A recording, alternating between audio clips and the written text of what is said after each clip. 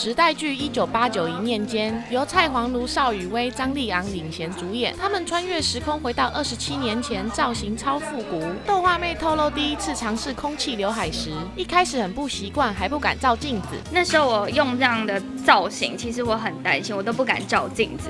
大概已经拍了大概一两个礼拜，我就很庆幸，呃，就是身边都没有镜子，因为我以前非常爱照镜子。然后可是今天一进来，大家纷纷的就赞美我的造型。其实我突然间拾起了我的自信，觉得说我好像真的蛮美。其实也不用这边下戏的时候遮遮掩掩戴帽子这样，其实好像还蛮美的，对吧？嗯，对。其实我是后来自己上网有查，就是因为大家都说是九井法子，我就很开心。然后上网查九井法子当时的那个发型，其实真的就是那样，就是这个样子。我觉得很正哎，嗯，对啊，完全都是在安慰自己。真的是会会耳目一新啦，就是可能会你现在在现在不会看到任何女生有梳这个发型，所以第一第一次看到的时候，其实是非常有趣，很有趣。重点是因为我每一次拍戏的时候，我都会问丽阳说：“你看我今天会不会就是好像好好像很奇怪还是什么？”但是他都一直跟我说不会，超好看。可是你真的很好看，谢谢谢，真的啦，你也很美。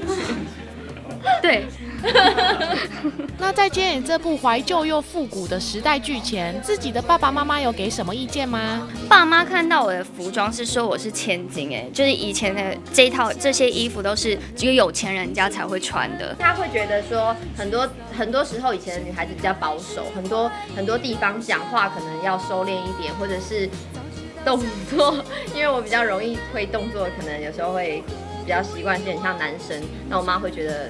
当时的女生是很矜持跟保守的，就算是一个很活泼的女孩子，还是会稍微注重自己的那个仪态。